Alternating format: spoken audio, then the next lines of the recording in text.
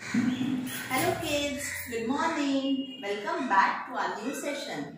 In today's session we will learn how to write small a. Come first revise capital A.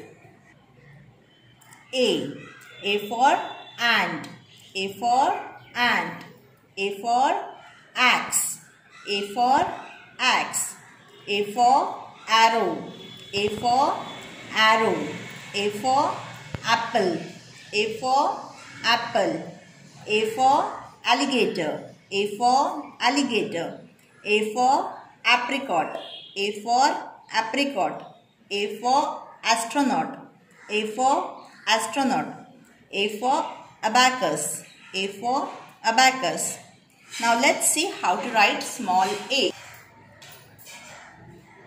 You will not write in the margin. Your red and blue line notebook we will write small a in these two blue lines. First we'll write curve, then standing line and a small curve. A. Again, a big curve touching both blue lines. Then a standing line and a small curve. A. First a curve standing line, small curve, A. Curve, standing line, small curve, A. Curve, standing line, small curve, A. Curve, standing line, small curve, A.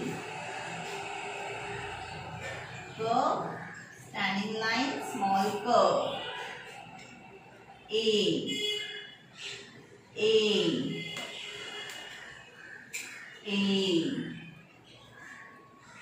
All of you practice writing A. See you soon. You have to do writing work in this handwriting book.